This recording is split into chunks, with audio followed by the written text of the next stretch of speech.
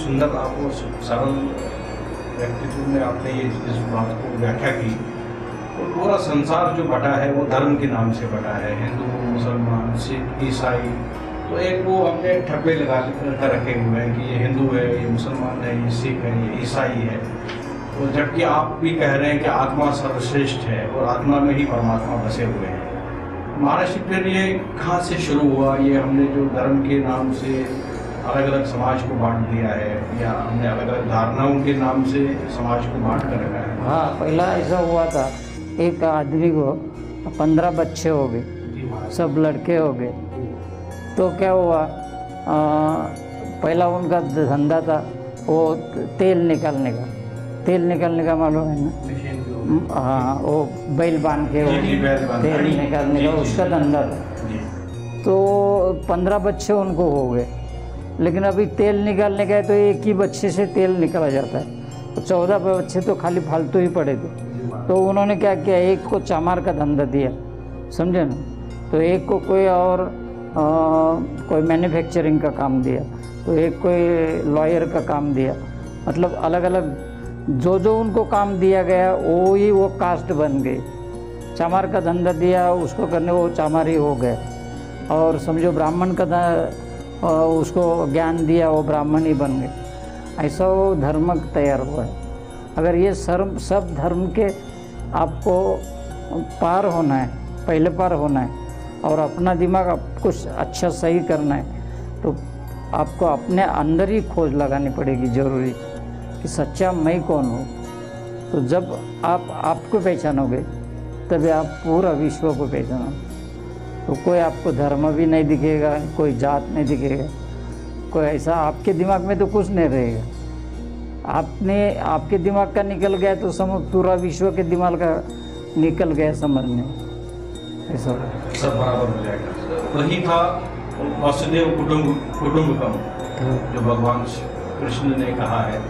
तो वही हमारा पूरा परिवार तो वही था जो हमारी संस्कृति थी और हमारा जो वेदांता कहता है महर्षि लेकिन अब तो वो रहा नहीं क्योंकि पूरे हर तरफ़ से समस्या ही समस्या है पूरे विश्व में। नहीं, जिधर जिधर मतलब जिधर जिन्होंने वो रहा नहीं, कहाँ ना है, कहाँ रहा नहीं जिन्होंने ये उसका बराबर कंपाउंड नहीं उसको किया, उसके पास रहा नहीं। और जिन्होंने कंपाउंड किया है बराबर, उसके पास तो किधर गया नहीं, है ही। भारत में ही है हाँ भारत में। भारत के ऋषि मुनियों के पास है संत महापुरुषों के पास में ये ज्ञान है भारत में इसीलिए तो भारत विश्व गुरु कहलाता था और विश्व गुरु और भी बन सकता है अगर इन- चीज़ों को हम वापस लाए भारत में तो ये सारी चीज़ें खत्म हो सकती है भारत में सब। लेकिन अपने को एक आत्मा का पहचान होने के बाद अपने को कोई भी आदमी अलग नहीं दिखता है अपनी नज़र में हर एक कोई आदमी आत्मा दिखता है भगवान ही दिखता है। चाहे कोई भी कोई भी धर्म का हो कोई भी पंथ का हो कोई जात का हो कोई देश का हो हर एक आदमी ईश्वर दिखता है अपने नज़र में। अभी हमारे नज़र में हाँ, ये आप इतने बोझ से बैठे हैं लेकिन मेरे को किसी को पूछना नहीं पड़ता है तू कौन सा जात का है तेरा क्या नाम है कि तेरा कौन सा गाँव है? हमको ये इतना लपड़ा में पड़ने का कोई काम नहीं है। एक नज़र घुमाए तो सारे आत्माएँ दिखते हैं। तो अभी उसका पत्ता लेने का और मेरे पास इतना चोपड़ा जमा करने का काम ही क्या है? उसका पत्ता लो टेलीफोन लो। ये कुछ काम ही नहीं है। महाराज जी जब आप हम सबको एक आत्मा के रूप में देखते हैं हाँ। तो आपको उस वक्त क्या अनुभूति होती है महाराज? आप हमें कैसे देखते हैं? तो हाँ। जैसा मैं मेरे दिल में देखता हूँ मेरे को जैसा मैं मेरे दिल को मेरे को दिखता देखता हूँ। वैसा ही मैं हर एक आत्मा, हर एक जीव को देखता हूँ। तब मेरे को बहुत बढ़िया आनंद होता है, बहुत बढ़िया आनंद होता है। वो आनंद कैसा होता है? किधर से वो आनंद आता है? तो जिस इनके अंदर के मालिक को मैंने पहचान लिया कि अरे, इसके अंदर भी मेरा मालिक बसा हुआ है। कि भले हमारा चित बातचीत हुआ भी नहीं, वो चले भी गए। तो भी वो घर में जाने के बाद भी वो या ये ही याद करेगा। हम किधर से मिल के आया और किसको मिला वो ये पहचान है उसका।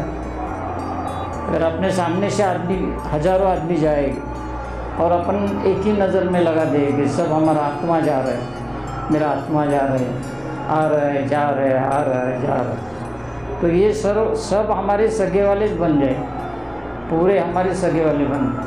लड़ाई झगड़े सब खत्म हो ये सब वो कलेश लड़ाई झगड़े हाँ द्वैत खत्म हो होता है द्वैत ही खत्म हो तो सारे हमारे रिलेटिव बन जाए तो जैसा संसार में रिलेटिव बनाना हो तो एक एक को समझो अपना लड़का देना पड़ता है या लड़की देना पड़ता है। तो बाद में रिलेटिव बनते हैं। और उसके उससे भी बहुत खर्चा करना पड़ता है। है कि नहीं? जी महाराज। तो हमारा सब रिलेटिव बिना खर्चा के बन और लाखों लाखों रिले करोड़ों रिलेटिव ही खुद ही। और देना तो कुछ नहीं। उल्टा अपने को वो दे के जाते हैं। अपने को देना भी नहीं पड़ता है। कभी जन्म में भी देना नहीं पड़ता पूरा। वो जन्म भर दे के दे, देते रहते। तो अब ये सब कारोबार चला है उसका यही तरीका है सिस्टम चलाने। जो भी आता है सामने हमारा भगवान आता है और हमारा मालिक आता है। हम अच्छे नज़र से अच्छे ढंग से उनको हमारा मालिक समझता है भगवान समझता है। तो क्या कम, किधर क्या कम है और क्या कम पड़ा है? वो खुद करता है, खुद सोचता है। अपने कुछ करना नहीं पड़ता। एक मालिक को पहचानने के बाद सब आपका बाहर का थोड़ा थोड़ी सब बंद और आपका दिमाग भी बाहर चलाने की ज़रूरी नहीं। जिधर आपका दिमाग नहीं चलता है, उधर चलाने वाले हज़ारों मिल जाएगा। ऐसा होता है। अभी ये इतना अपना पंडाल है बड़ा। अबे हम किधर जाता भी नहीं। वो नीचू बैठा है, उधर से उठा तो इधर आके बैठा, इधर से उठा तो उधर जाए। बस यही दो ही काम मेरे पास है। लेकिन लाखों, हज़ारों लोग भोजन अच्छी तरफ़ से करके जाते हैं। इसका इसका कारण क्या है कि जिनको जिनको मैं, मेरा समझा है वो सब अपने अपनी ड्यूटी कर रहे हैं। अगर जिसको मैं, मेरा नहीं समझा तो वो ड्यूटी पर नहीं रहेगा। और मैं मेरा, जिनको जिनको मैं मेरा कैसा देखा, वो बाहर से नहीं देखा, उनको अंदर से देखा। तो अंदर के दे, अंदर से देखने के कारण हमारा रिलेशन टेम्परवरी नहीं हुआ। हमारा रिलेशन परमानेंट हो गया। ये जन्म तो हुआ तो हुआ, हज़ारों जन्म तक जुड़ गए ऐसा बात। महर्षि जो जिनको आप देखते, जैसे आप मेरे को देख लेंगे तो मेरे में तो बहुत सारे अवगुण हैं। तो महर्षि आप अवगुणों को उस वक्त कंसिडर करते हैं कि उसको इग्नोर करते हैं महर्षि कुछ करना नहीं पड़ता। आप हमेशा हमेशा अपना सानिध्य में आएगा ना तो आप आपके अंदर के जो अवगुण हैं वो सब अच्छे गुण भर जाएँगे। खुद ही कन्वर्ट हो जाए खुद ही कन्वर्ट हो जाए अपने को करना नहीं पड़ता है खाली आप सानिध्य लेना चाहिए। जैसा वो चंदन के पास अ, कोई जिसको क्या कड़ू कड़ू लिम्ब होता है ना कड़वा लिम्ब कड़वा लिम्ब चंदन के पास जाता है तभी वो, वो भी चंदन बन जाता वैसा ये तरीका है। इधर का आप संतों के साथ जुड़ गए तो आपका सब अवगुण खत्म ही हो गया समझिए लेकिन इधर भी सबूरी की बात है। जैसा डॉक्टर को कुछ सबूरी लेना पड़ता है ना थोड़ा एक दिन में डॉक्टर को है वैसा आप भी संत बन बन जाओगे। लेकिन संतों के सानिध्य में रहोगे तो संत बन जाओ। जिनके भी सानिध्य में जाओगे वही आप बन जाओ। तो आपने ही आपका सोचना है कि हम किसका सानिध्य जास्ती पकड़ना है। महर्षि आपने परमात्मा के दर्शन किए हैं? मैंने। अब आपको पूछना चाहिए। नहीं तो आप इतना टाइम हमारे पास ये मशीनरी विशनरी जोड़ के इतना टाइम आप काय को देते थे।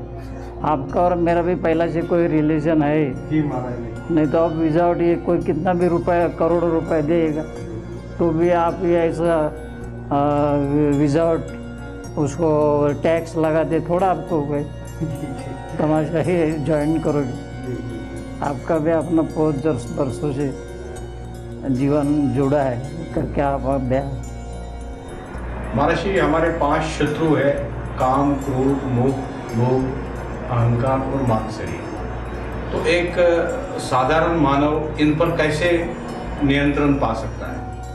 उसने, उसी ने सब छोड़ने का, और अपने अंदर वाले मालिक के साथ जुड़े रहना।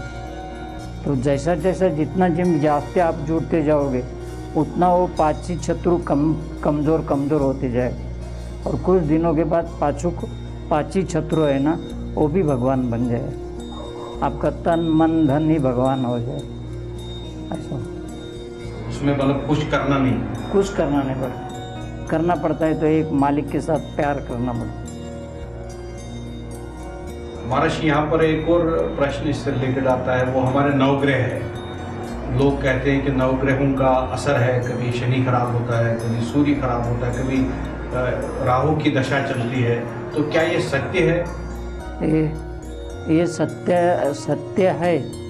जिन्होंने भगवान के साथ जुड़ने का प्रयास नहीं किया उसके लिए वो सत्य और जिन्होंने भगवान के साथ जुड़ने का प्रयास किया उनके लिए वो असत्य और उनके लिए कोई डरने की बात ही नहीं। कोई भी दशा हो कोई भी महादशा हो कोई असर नहीं करेगा। कुछ असर करने का करेगा कोई भी असर नहीं कर परमात्मा सबको कंट्रोल कर देंगे। करता है। अभी हम लोग पाकिस्तान में भी जाता है। तो हमको पाकिस्तान वाले पूछते नहीं तुम कौन सा धर्म का है? वो तो समझते हैं हमारा ये रिलेटिव आ गए। तो ये कभी होता है। जब आप आपको आप आपको खुद को आप खुदा बना देगी तब ये सब अपना ऑटोमेटिकली होता है। इन चीज़ों का कोई महत्व नहीं है जीवन में। कोई महत्व नहीं। अगर तुम आत्मा को जानोगे तो कोई भी महत्व नहीं किसी का भी महत्व नहीं सबको छोड़ देने।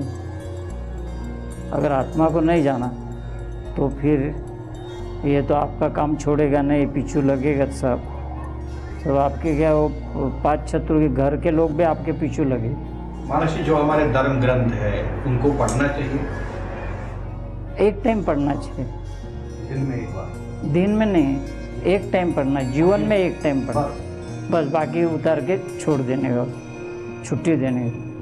नहीं तो ग्रंथ पढ़ते पढ़ते पूरा जीवन बीत जाएगा तो फिर आप भगवान के साथ कभी जुड़ेंगे? तो भगवान बोलेगा, अरे तो अब तक तो खाली वो ग्रंथ, ग्रंथों के साथ ही जुड़ा था, हमारे साथ जुड़ा तो नहीं। अभी तू मेरा है ही नहीं अभी, तू तो फिर जाओ संसार में। फिर भटकना पड़ेगा चौरा लक्ष्य चौरा चौरासी होने में, फिर जाना पड़ेगा। तो ग्रंथों में जैसे लिखा है महाराज वो सिर्फ़ कहानियाँ है माइथोलॉजी है कहानियाँ है कि वो सत्यता भी है महाराज उनमें? पच्चीस टक्का तो उसमें सच्चा रहता है।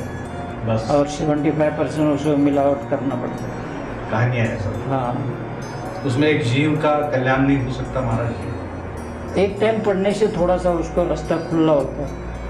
अपन भी शंकर का अपन अगर पुराण शिव पुराण। शिव पुराण पढ़ा। तो आपके ध्यान में यह आना चाहिए शंकर ने अपने जीवन को भगवान बनाने के लिए क्या क्या ढंग से कौन सा स्टडी किया? तो ये ध्यान में आया तो पुराण बाजू में रख दो और जिस रास्ता से शंकर गया उसी रास्ता से आप जाने का प्रयास करो। तो काम खत्म हो वैसे राम पढ़ने से भगवान नहीं मिलेगा।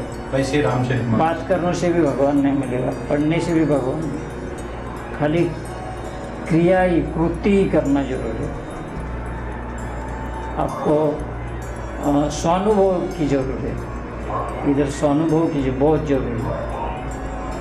महाराज जो हम कहते हैं चार धाम की यात्रा करने से आदमी के पाप धुलते हैं गंगा नहाने से आदमी के पाप धुलते हैं तो ये किस हद तक सही है किस हद तक गलत है महाराज? हम्म, ये तो बात इतनी सच्ची है। अगर गंगा नहाने से पाप अपने धुलाए जाते थे तो अंदर रहने वाले मसले वो भी भगवान बन जाते थे अगर थोड़ा है वो कोई बात इतनी बराबर नहीं। महाराज पाप और पुण्य है क्या संसार में? भगवान के भगवान को छोड़ के रहना वो पाप है और भगवान को पकड़ के रहना वो पुण्य है। बाकी कोई पाप पुण्य नहीं कोई पाप नहीं। भगवान को पकड़ के रहने वाले को कोई पाप ही नहीं। खत्म हो गया उसका सब। महर्षि भगवत गीता में भी दो तरीके के उसमें विचार है। वो बहुत सारे अध्याय में तो परमात्मा पहले ये कहते हैं कि आप कर्म करो, आपको इस तरीके से आपके योग अवस्था आ सकती है, आपका ध्यान योग ये है, कर्म योग ये है, भक्ति योग ये है, वो पूरा उनका वर्णन करते हैं। लेकिन लास्ट में ये कहते हैं कि सभी चीज़ों को छोड़कर आप मेरी शरण में आ जाओ। तो वो खुद ही ये भी कहते हैं कि हाँ पत्ता भी हिलता तो मेरी इच्छा से ही हिलता है। लेकिन दूसरे साइड से अर्जुन को कहते हैं भाई आप कर्म करो। तो महर्षि ये दो अलग विचार नहीं है महर्षि एक साइड से परमात्मा उनको प्रेरित करते हैं कर्म करने के लिए और पूरा ज्ञान देते हैं। दूसरे साइड से कहते हैं कि आप सब कुछ छोड़कर मेरी शरण में आ जाओ। वो तो सब अभी अपन कोई भी दुकान में गया। जी महाराज तो होटल में गया। तो उधर सौ पर सौ किस तरह के सब पदार्थ लगे रहते हैं। आपको जो भी आपको जो पसंद पड़ेगा वो आप खा वो ही आप खाओगे ना। तो ये भगवान ने ऐसा ही ये सब बना के रखा है। तो आपको जिधर जाने का है जिस रस जिधर जाने का है उधर आप जा सकते लास्ट ने आपने बोला है ना सब। लास्ट भी भगवान ने ये बताया ना। अगर अगर, अगर मेरे साथ तेरे को मेरे समान होना है तो जो सबको छोड़ना ज़रूरी है। और जिसको भगवान के साथ नहीं चाहिए वो सबकी ज़रूरी है वो। कर्म भी की ज़रूरी है ना? जी महाराज। सब सब काम धंधा करने की भी ज़रूरी है। तो इनमें अगर इन इनमें से अगर हम कोई रास्ता चुने महाराज श्री कर्म योग ज्ञान योग ज्ञान योग और भक्ति योग तो सर्वसे सबसे सर्वश्रेष्ठ कौन सा है महाराज? आप कर्म करते करते भी भगवान को जोड़ा जोड़ सकते अगर आपको स्पेशल भगवान के साथ जुड़ना है। और भग, भगवान के साथ स्पेशल जुड़ना है। तो आप आपको भगवान बना के आप लाखों को भगवान बना सकोगे। अगर आप सब करते करते भगवान बन गए तो खाली आप आपका छुटकारा करके ले लेंगे। लक्ष्य और ऐसी होने से बाकी लोगों को कर नहीं सकोगे। इतना ही फ़र्क है। दूसरा कोई फ़र्क नहीं। महर्षि, आपने कहा कि हृदय में परमात्मा को बसाना चाहिए, वहाँ देखना चाहिए। तो साइंटिफिकली तो वो एक ऑर्गन है जिसमें बुलेट चलता है महर्षि, वहाँ पर परमात्मा की कल्पना कैसे की जाए? हृदय में कैसे बसाया जाए? जो आज से अपने हज़ारों वर्षों से संतों ने, जिन्होंने भगवान को जाना, जब भगवान को जान, जाना, उन्होंने जो बात बताया वो बात से वो बात के ऊपर विश्वास रख के ही आपको अपना अ, सफ़र करना ज़रूरी है। वहीं से शुरुआत करनी है। हाँ। तो ये मंत्र जाप भी करना चाहिए महाराज जी साथ साथ में कि सिर्फ़ परमात्मा को देखना चाहिए वहाँ। मंत्र जब करेंगे तो भी बहुत अच्छा है। तो भी जल्दी भगवान की तरफ़ जाओगे पहुँचो इसके लिए वो मंत्र भी है। मंत्र भी साथ देता है। अगर मंत्र आप स्कूल में जाओगे इसमें चाहे कितने भी घर के होशियार लड़का होना दो चाहे आपका फादर कोई समझो जज भी होना दो अगर उसका आप लड़का होना दो तो क्या आप उसको बोले कि हम जज का लड़का है हम स्कूल में नहीं जाए तो आप थोड़ा कोई बन सकोगे? नहीं मिलेगी। नहीं मिलेगा। वैसा ही स्कूल है ये ये सिस्टम से ही जाना पड़ेगा। तभी आदमी पहुँच जाएगा कहीं ना कहीं। हाँ। जल्दी पहुँचना है और शंबर सौ टक्का पहुँचना है तो फिर ये रास्ता से जाना पड़ता है मंत्र लेना पड़ता है। इसमें शॉर्टकट है महाराज यही शॉर्टकट ही है सभी है। अभी तक बात किया वो शॉर्टकट की बात। खुद ही आत्मा को पहचान। खुद ही आत्मा को आप खुद आत्मा है ही। सिर्फ़ ऊपर सब अ, क्या अ, उसके ऊपर क्या कवर आया है? मतलब जैसा अपना एक मिरर्स होता है। और मिरर्स के ऊपर सब धूल लग जाते हैं। तभी मिरर तो कुछ दिखता नहीं अपने को। फिर धूल निकाल देगा तो सब मिरर में जैसा दिखता है। वैसा आप आप तो भगवान ही है। आप आपके ऊपर जो गंदगी चढ़ी है उसी गंदगी को आप निकाल दोगे। तो आप भी परमा परमात्मा है आप कोई अलग नहीं। भगवान ही है। लेकिन वो भगवान बनने के लिए जो प्रोसेस है वो प्रोसेस का स्वीकार तो ज़रूर करना चाहिए। विदाउट स्वीकार प्रोसेस से आप नहीं जा सकते तो सारी दुनिया जाती थी। जी महाराज ऐसा तो प्रोसेस का पहला स्टेप क्या है महाराज वो जो हनुमान जी ने किया वो स्टेप हनुमान ने कैसा राम को अपने दिल में देखा वो फ़र्स्ट स्टेज है। उससे भी फ़र्स्ट स्टेज है कि आपने पहला गुरु मंत्र लेना चाहिए गुरु मंत्र, इसका मतलब गुरु ने, का मंत्र नहीं रहता है। आपका खुद का नाम रहता है। वो गुरु अपने को मतलब गुरु के माध्यम से आपको आपका नाम दिया जाता है, उसको मंत्र बोला कि आपका, जैसा आपने, आपका अभी नाम माँ बाप ने रखा है, वो माँ बाप ने किसका नाम रखा? आप जब भी माँ बाप के पेट से एक बॉडी धारण करके बाहर आए तभी आपका बॉडी का नाम माँ बाप ने रखा। लेकिन वो आपका नाम नहीं था। तो गुरु मंत्र बोला ना तो आपका स्वयं का नाम का अर्थ है गुरु मंत्र। स्वयं को के नाम को बोला जाता है गुरु। मंत्र बहुत सारे ऐसे दर्शक हैं हमारे, जिन्होंने पहले गुरु धारण किए महाराज से लेकिन उनके जीवन में कोई ज़्यादा इतना फ़र्क नहीं पड़ा। न तो परमात्मा के साक्षात्कार हुए, न उनके जीवन में बदलाव आया। तो जिन्होंने पहले ही गुरु धारण किया हो, गुरु मंत्र धारण किया हो, उनके लिए क्या आदेश है महाराज जी? वो कैसे कर सकते क्या वो नया गुरु मंत्र ले सकते हैं, नए गुरु को धारण कर सकते हैं? हमारे शास्त्र क्या कहते हैं? गुरु तो एक ही करना चाहिए गुरु बदलने का कोई काम ही नहीं था। क्योंकि सब गुरु एक ही होते। और पहला गुरु बदला तो दूसरा भी वैसा ही मिलेगा आपको। जो पहला था वो उसके ज़रिए का मिले। तो बदलने में आप अपने में आपको बदलो गुरु को मत बदलो। लेकिन उनका ये कहना है कि हमारे जीवन में कोई बदलाव आ नहीं रहा है। तो इसका मतलब आप कोई मेहनत कर नहीं रहा आप कोई प्रयास कर नहीं रहे। अगर प्रयास करोगे क्यों नहीं बदलाव है तो ज़रूर बदलाव आएगा ना। तो ऐसे लोगों को सत्संग में जाना चाहिए किसी महापुरुष के पास में सत्संग में जाना चाहिए कि वो भी अच्छा नहीं है? हाँ नहीं सत्संग में जाओ और अपना काम ही करो। सत्संग में जाओ कोई भी किधर भी जाओ कोई भी प्रोग्राम में जाओ लेकिन आप अपने अंदर जुड़े रहना। गुरु मंत्र के साथ। हाँ गुरु मंत्र के साथ आप अपने आत्मा के साथ जुड़े रहना। महर्षि हिंदू धर्म में कहते हैं कि जैसे, गौ है, गंगा है, गायत्री है, गौरी है, जो मतलब हमारी महिलाएँ हैं, वो वो सब परेशान है आज के समय में भारत में। तो आपके क्या विचार है महाराज जी इसमें? सब सबकी परेशानी निकालना है। तो ये एक हाईवे, नेशनल हाईवे। अपन सबको छोड़ देना और एक को पकड़ लेना। और एक को पकड़ लेने के बाद समझो छोड़ते थे हम एक आप हज़ार लोगों को छोड़ दिया, एक को पकड़ने के लिए।